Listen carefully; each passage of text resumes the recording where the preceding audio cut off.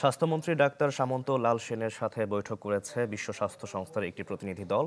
নেতৃত্ব দেন সংস্থাটির দক্ষিণ পূর্ব এশিয়ার আঞ্চলিক পরিচালক সাইমা ওয়াজেদ।